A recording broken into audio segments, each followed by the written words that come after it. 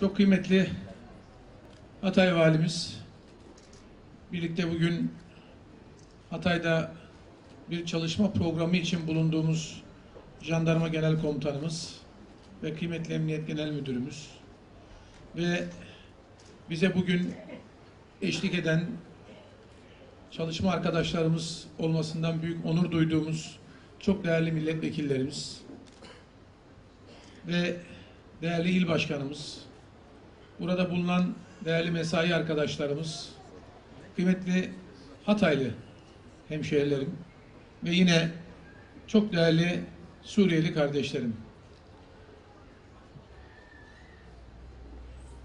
Bir zulüm ortamından kaçarak yaşadıkları yerlerden ayrılmak zorunda kalan devletimizin ve milletimizin bir ensar duyarlılığıyla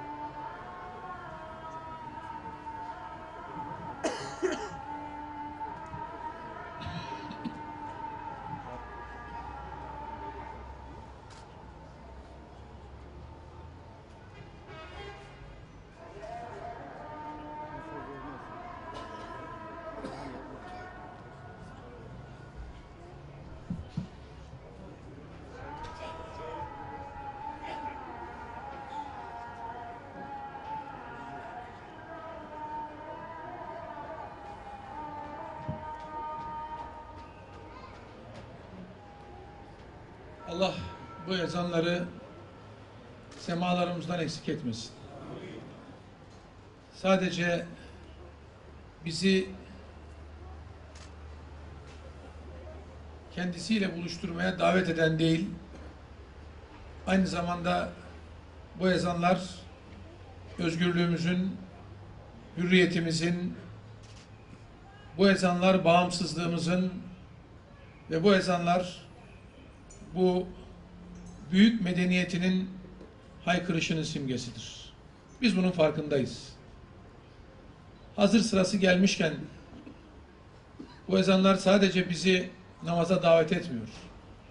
Aslında çoluk çocuğumuzu, aslında bu büyük milletin bütün değerlerini beş vakitte bir yeniden kulağına üflüyor. Hep şöyle söyledik. Hep dedik ki acaba yeni neslimiz nasıl olacak? Bir milli meselede, bir manevi meselede bizim neslimiz sahip çıkacak mı? Acaba bu batıdan bize ithal edilen bu filmler çocuklarımızı ne kadar etkiledi? Okutturulan kitaplar acaba onların değerlerini erozyona uğrattı mı? Endişemizdi bu, korkumuzdu. Ama 15 Temmuz'da bir şeyi gördük. Gördüğümüz şey şuydu. Bir taraftan bu toprakların değerleri, bir taraftan medeniyet birikimimiz, bir taraftan ailelerimizde aldığımız kültür, geleneğimiz, göreneğimiz ve her beş vakit bu ezanı Muhammedi'nin bu semalarda çocuklarımızla buluşması bizim korktuklarımızın bizden çok uzak olduğunu bir kez daha bize gösterdi. Allah'a hamdolsun. Biz öyle bir coğrafyada yaşıyoruz ki tam da bugün bu coğrafyanın önemini bir kez daha idrak ettiğimiz, bir kez daha anladığımız, bir kez daha her birinizin huzurunda bunu neredeyse delillendirdiğimiz bir anlayış içerisinde yaşıyoruz. Biz birilerinin eklemlediği bir coğrafyanın içerisinde değiliz. Burası bizim topraklarımız. Bu büyük milletin, bu aziz milletin toprakları. Geçmişini, dününü ve tarihini hiçbir zaman unutmayan, nereden geldiğini bilen ama nereye gideceğini bilen, sorumluluğunu hiçbir gün bırakmayan ama yarına ait neler yapabileceğini de bilen bir ülkenin evlatları olarak bu topraklardayız.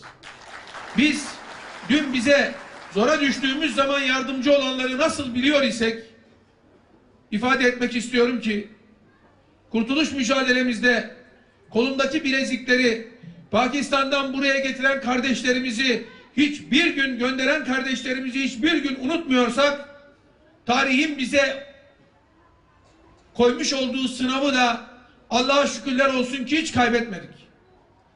1800'lü yılların sonunda Osmanlı-Rus Savaşı'nda Kafkaslardan Balkanlara kadar orada zora düşmüş milletine sırtını dönmemiş, insanlık imtihanını kaybetmemiş bir milletin evlatlarıyız biz.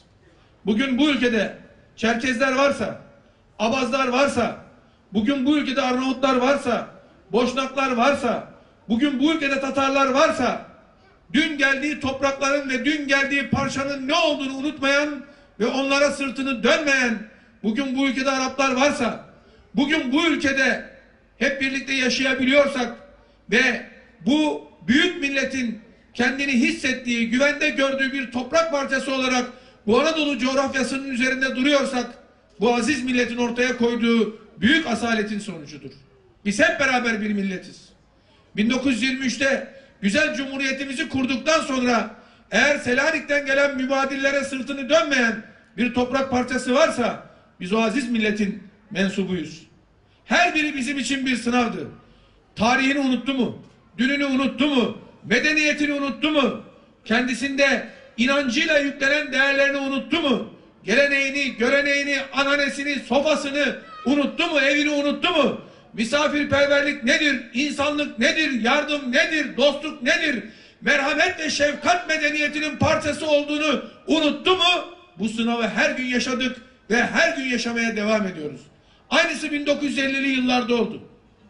Evini, barkını, bahçesini, anasını, atasını, dedesini orada bırakmak zorunda olan o günkü Yugoslavya'dan acaba beni Anadolu'da kabul ederler mi diye yola çıkan, annesiyle, ninesiyle vedalaşan, onların sen Anadolu'ya emanetsin diyen bir anlayışın evladı olarak buraya gönderdikleri ve burada yer buldukları, yurt buldukları, bahçe buldukları, ev buldukları ve şu ay yıldızlı bayrağın gölgesinde hep beraber bir millet olduğumuz insanlara da sırtımızı dönmedik. Dönmedik ve dönmeyeceğiz. Ben çok iyi hatırlıyorum. 19-20 yaşındaydım. Ve o gün içinde bulunduğum siyasi partinin gençlik kollarındaydım. Daha sonra Cumhurbaşkanı olan rahmetli Demirel Türkiye bu işi kaldıramaz dediğini şu kulaklarımla çok özel ve çok gizli bir toplantıda duydum. Ama Allah'a şükürler olsun ki Jivkov'un Bulgaristan'dan gönderdiği o insanlara Belediye kamplarında sürüm sürüm süründürdüğü o insanlara sizin bir vatanınız var diyebilecek erdemi gösteren bir anlayışı ortaya koymuştur bu millet. Ta Saddam'ın kimyasallarla birlikte öldürmek istediği peşmergelere sahip çıkan bu aziz coğrafya Hatay sadece bu aziz coğrafyanın özel bir numunesidir ki Hatay bu coğrafyayı kendi diliyle, kendi insanıyla anlatmaya yeterdir. Hatay'a müteşekkirim. Müteşekkiriz. Dün kıymetli Cumhurbaşkanımız Şanlıurfa'da ifade etti. Bunun önemi büyüktür. Bizi yok etmeye çalışanlar, bizi değerlerimizden uzaklaştırmaya çalışanlar, bizi insanlığa sırtımızı dönmek, dönmemizi isteyenlere karşı verebileceğimiz en asil ve en tarihi cevabı veriyoruz. Sözle vermiyoruz. Güya ile vermiyoruz. Mış yaparak vermiyoruz. Samimiyetle ve kardeşliğin getirdiği bütün anlayışla beraber veriyoruz. Ve bugün 3 milyon Suriyeli kardeşimizle sadece biz bugün onların ihtiyaçlarını karşılayan onları onlara bu coğrafyayı vatan yapan, toprak yapan, emanet içerisinde olmalarını sağlayan bir anlayışı ortaya koymuyoruz. Tarihimizle tekrar yüzleşiyoruz. Medeniyetimizle tekrar yüzleşiyoruz. İnsanlığı ve medeniyeti unutmaya çalışan bütün dünyaya insanlığın ve medeniyetin unutulmayacak bir şey olduğunu Anadolu coğrafyasından tekrar hep birlikte hatırlatıyoruz. Ne yaptığımız farkındayız. Bilin ki aziz milletimiz de bilsin ki eğer 15 Temmuz gibi bir beladan kurtulmuş isek bilmeliyiz ki bu yaptığımız büyük asaletin insanlığın timsalinin sonucudur. Sadece kendi gayretlerimizle değil Allah'ın iradesiyle beraber o büyük melun beladan kurtardık. İşte eğer el uzatırsanız eğer bir yaşında karnına süngü saplanarak öldürülmüş bir çocuğun, öldürülecek bir çocuğun annesiyle beraber sığınacağı bir vatan olursanız Cenab-ı Allah da dünyadaki mazlumlar da sizle beraber olur. Bu çok net ve açıktır. Hiç bunun parası, pulu hiç önemli değil. Biz inanıyoruz. Bu dünyanın geçici olduğuna inanıyoruz. Öteki dünyada Arasat'ta birbirimizle buluştuğumuzda ve o birbirimizle buluştuğumuz andan itibaren Suriyeli kardeşlerimizin bize sadece şunu söylemesini istiyoruz. Biz onlardan razıyız. Bu dünyadaki imtihanımızın yegane karşılığı budur. Başka hiçbir şey değildir. Ve ve ifade etmek istiyoruz ki bu bugünün sınavı değildir. Elbette ki bütün dünyaya çok önemli bir anlayışı bırakıyoruz. Dünyanın her noktasında dünyadaki zengin ülkelerin gelişmiş ülkelerin ortaya koyduğu vurdum duymazlığa yanlıştasınız diye bir büyük beyanı ortaya koymaya çalışıyoruz. Ve şunu söyleyeyim. Burada bu topraklarda yarına ait ümitlerimizin daha yeşerdiği, hep birlikte yarına ait adım attığımız bir anlayışı gerçekleştiriyoruz. Biz nasıl sırtımızı dönebiliriz? 300 yıla aşkın bir zaman aynı sancak altında kardeş bir şekilde yaşadığımız insanlarımıza nasıl sırtımız dönebiliriz? Hayır dönemeyiz. Gücümüz neyse, ekmeğimiz varsa sonuna kadar bölüşmeye hazırız. Sonuna kadar malımız, mülkümüz ne varsa bilmenizi istiyoruz ki biz bu dünyayı dünyalık için gören bir anlayışın temsilcileri hiçbir zaman olmadık, hiçbir zaman olmayacağız. Gelecek neslimizin de böyle olmasını istemiyoruz. Burada burada Hatay 13 medeniyete ev sahipliği yapmış Hatay. Hala bütün dünyanın göz bebeği olan Hatay. Bereketiyle, bolluğuyla, insanın asaletiyle buradan kardeşliğin nasıl tesis edilebileceğini sadece bugün değil, yüzyıllardır gösteren Hatay. Minnettarız, müteşekkiriz ve aslında ortaya koyduğunuz resim bugün dünyanın ihtiyaç duyduğu bir resim olarak net bir şekilde görülmektedir.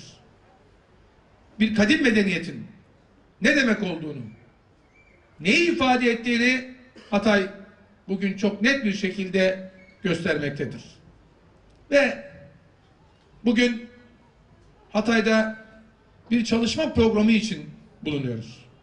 Bir taraftan jandarma genel komutanımız, bir taraftan emniyet genel müdürümüz, bürokrasideki arkadaşlarımız ve ülkemizin, insanımızın yarına esenlikle, güvenlikle gidebileceğini ve bu konuda üzerimize oynanan oyunları hep beraber ortadan kaldırabileceğimizi ve alacağımız tedbirleri burada tekrar konuştuk. Dün Şanlıurfa'daydık. Kıymetli Cumhurbaşkanımızla birlikte. Ve orada vatandaşımızın göstermiş olduğu o büyük samimiyeti, büyük sıcaklığı hep birlikte yaşamış olduk. Doğru istikamette olduğumuzu, sırat-ı mustakimde olduğumuzu bilmenizi istiyoruz. Elbette ki kimse Türkiye'nin 3 bin dolarlardan 11 bin dolarlara gelebileceğini hesap etmiyordu. Ama bugün Türkiye hayal ettiği noktalardadır. Bunu kendinden söylemek istiyorum. 1999 yılında İstanbul'da il başkanlığı yapıyordum. Geleceğe ait idealimi tanımlamak için şunu söyledim. 10 bin dolarlık kişi başına gelir seviyesine geldiği zaman Türkiye birçok meselesini halledecektir. Evet, bugün o seviyenin üzerindeyiz.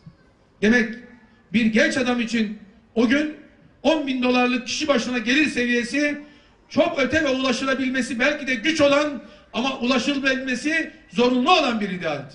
Bugün o ideale Türkiye kıymetli Cumhurbaşkanımız ve bütün dünyaya liderliğin ve insanlığın nasıl olabileceğini gösteren Recep Tayyip Erdoğan sayesinde bu ideale ulaşmıştır. Bilmenizi isterim ki bu bizim daha birinci safhamızdır. Şimdi ikinci safhaya doğru yola çıkıyoruz. Çünkü dünyada mazlum ve mağdur milletlerin merhamet ve şefkat medeniyetinin evlatlarının elini uzatmasına ihtiyacı var. Biz başka ülkeler gibi değiliz. Biz batı gibi her şeyi matematik üzerinden yapan bir ülkenin evlatları da değiliz. Biz elini gün bitiminde semaya açan Allah'ım bizi bu millete mahcup etme diyen ve bu ümmete mahcup etme diyen, insanlığa mahcup etme diyen bir anlayışın temsilcileriyiz. Şimdi ikinci safhaya doğru yolculuğumuzu devam ediyoruz. 2023, 2053 ve 2071. Çok net biliyorum. Yine çocukluğumuzda öğretmenlerimiz bize derlerdi ki büyük ülkeler büyük planlar yapan ülkelerdir. 20 yıllık, 50 yıllık, 100 yıllık biz bir yıl önümüze göremiyoruz.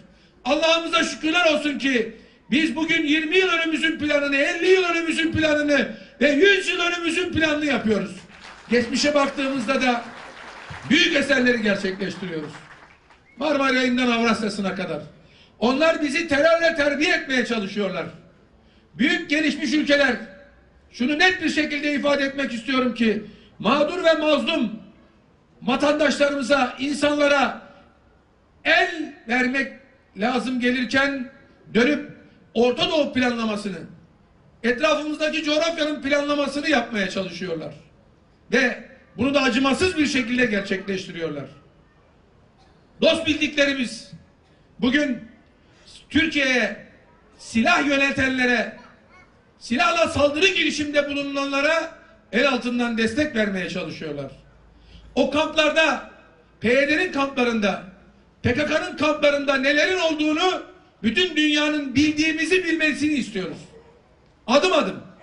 Hangi oyunu bize karşı kurduklarını, Türkiye'yi terörle terbiye edebilmek için, Türkiye'nin her tarafını teröre bulaştırabilmek için neler yapmak istediklerini bildiğimizi bilmenizi istiyoruz. Bununla mücadele edeceğiz. Hem de sonuna kadar mücadele edeceğiz.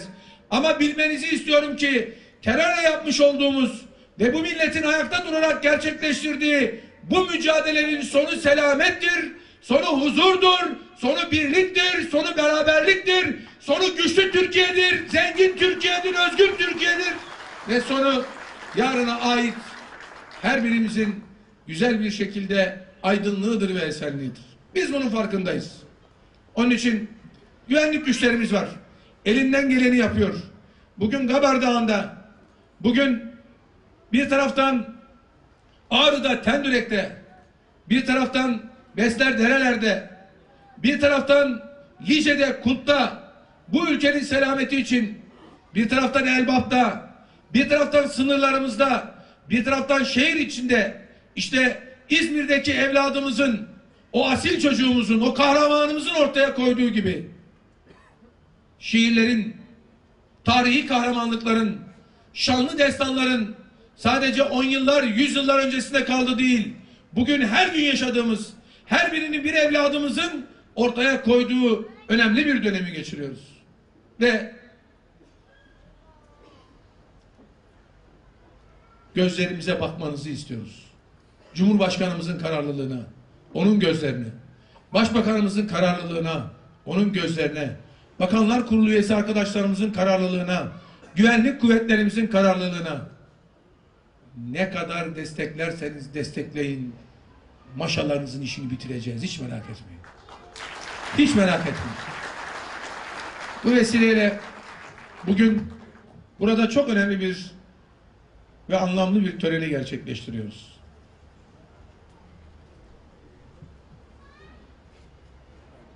Bu tören biraz önce bahsettiğim gibi ensar ruhuyla gerçekleştirilen bir anlayışın ifadesidir. Bugün Suriyeli kardeşlerimize yönelik önemli bir çalışmaya başladığımızı sizlere duyurmak isterim. Elbette ki bu krizin en başında ilk aşamada gelen insanların güvenliğini sağlamak ve temel ihtiyaçlarını karşılamak en önemli konuların başında gelmiştir. Bu amaçla sınırlarımızda kayıt altına alınarak ülkemize kabul edilen Suriyeli kardeşlerimizin yasal durumunu düzenlemek için geçici korum, koruma yönetmeliğini çıkardık.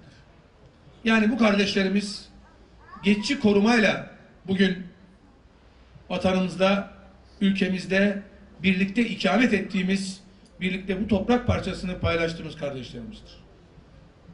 Bu yönetmelikle sağlık, eğitim, barınma ve iş piyasasına erişimleri gibi temel hak ve yükümlülüklerini düzenledik. Ayrıca ülkemizdeki Suriyelilerin kendi rızaları olmadan hiçbir şekilde ülkelerine geri gönderilmediklerini de belirtmek istiyorum. Fakat bu kişiler ülkelerine gönüllü olarak geri dönmek istedikleri takdirde gerekli prosedürde bakanlığımız tarafından yerine getirilmekte ve bu kişilerin gönüllü olarak ülkelerine bu kardeşlerimizin gönüllü olarak ülkelerine geri dönmeleri sağlanmaktadır. Devletimizin bölgede barışı ve huzuru tesis etmek için başlattığı Fırat Kalkanı Harekatı'nın neticesinde bugüne kadar 22.770 Suriyeli kardeşimiz tesis edilen güvenli bölgelere geri dönmüşlerdir. Yaptığımız tüm çalışmalar devam ederken Suriyeli kardeşlerimize verdiğimiz hizmetlerin standartlarının yükseltilmesi ve ihtiyaçlarının daha etkin bir şekilde karşılanabilmesi ve yine ayrıca kamu düzeni ve güvenliği noktasında alınan tedbirlerin artırılması amacıyla Göç İdaresi Genel Müdürlüğümüz hala hazırda kayıtları bulunan Suriyeli misafirlerimizin bilgilerinin doğrulanması ve güncellenmesi için çok anlamlı ve çok doğru olan bir çalışma başlatmıştır. İlk yaptığımız kayıtlar ve ondan sonra desteklediğimiz kayıtlarda 57 farklı türde veri almıştık. Şimdi güncelleme çalışması ile 99 ayrı türde veri alacağımızı ifade etmek istiyorum. Bilgilenen, bilgileri güncellenen Suriyeli kardeşlerimize de hak ve hizmetlerden yararlanmalarını sağlayan yeni ve güvenlikli geçici koruma kimlik kartları da şimdi verilecektir. 6 ay içerisinde tamamlanması planlanan çalışmaların sonucunda Suriyeli kardeşlerimizin kişisel, adres, ailevi, mesleki, eğitim ve özel ihtiyaç durumlarına ilişkin en detaylı bilgiler elde edilecektir. Bu sayede hem bu kardeşlerimizin sosyal hayata daha iyi uyum sağlayabilmesini temin etmek, hem de bütün bunları karşılayabilmek için gerekli verilere hep birlikte ulaşmış olacağız. Hem de özellikle güvenlik noktasında bir zaaf oluşmasının hep birlikte önüne geçmiş olacağız. Dün Sayın Cumhurbaşkanımız bir konuyu daha Şanlıurfa'da net bir şekilde altını çizerek aziz milletimize duyurmuş ve ilan etmiştir. Sadece böyle değil.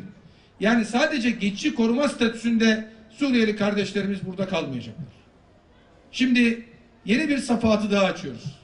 Burada yapacağımız değerlendirmelerle işte Hatay'da valiliğimiz, Göç İdaresi Genel Müdürlüğümüz ve Nüfus ve Vatandaşlık İşleri Genel Müdürlüğümüzle birlikte Sayın Cumhurbaşkanımızın talimatı, hükümetimizin direktifleri, başbakanımızın direktifleri çerçevesinde Suriyeli kardeşlerimizin Türkiye Cumhuriyeti vatandaşı olması konusunda yapacağımız değerlendirmeler, yapacağımız değerlendirmelerin ışığında bir adımı daha atmış bulunuyoruz. İnşallah hep birlikte bu ülkede, bu ülkenin yarına yönelik adımları ve bu bu büyük millet olmanın, güçlü millet olmanın ve geleceğe güvenle gitmenin hep birlikte adımlarını gerçekleştireceğiz.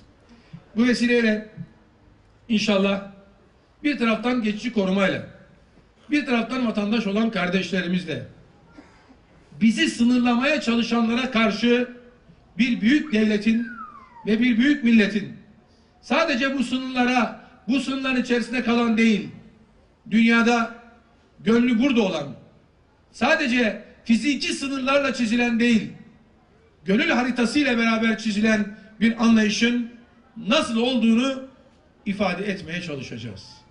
Onlar bizi sınırlandırmaya çalıştıkça biz gönül dünyamızı bütün dünyayla paylaşmak için bu hadisenin aslında ne olduğunu ve nasıl cereyan ettiğini gösterebilmek için adımlarımızı kuvvetli ve iradeli bir şekilde atacağız ve gerçekleştireceğiz. Bu vesileyle bu anlamlı çalışmadan dolayı Göç İdaresi Genel Müdürlüğü'nü, oranın çalışanlarını tebrik ediyorum ve kutluyorum. 6 ay içerisinde bu çalışmanın neticeye ermesini ve özellikle elde edeceğimiz verilerle ve bilgilerle çok daha iyi hizmet yapabilmek kabiliyetimizin artacağını bir kez daha huzurunuzda ifade etmek istiyorum. Allah yardımcımız olsun. Allah bugün bu ülkenin güvenliği ve selameti için gözünü kırpmadan bu ülkenin ve milletimizin nöbetini bekleyen evlatlarımızın muhafazasını sağlasın. Bu vesileyle hepinizi saygıyla, muhabbetle selamlıyor. Allah birliğimizi, beraberliğimizi daim etsin diyor. Hürmetlerimi ifade ediyor. Bu anlamlı çalışmanın hayırlara vesile olmasını temenni ediyorum. Hayırlı akşamlar diliyorum. Sayın Bakanımıza konuşmalarından dolayı teşekkürlerimizi arz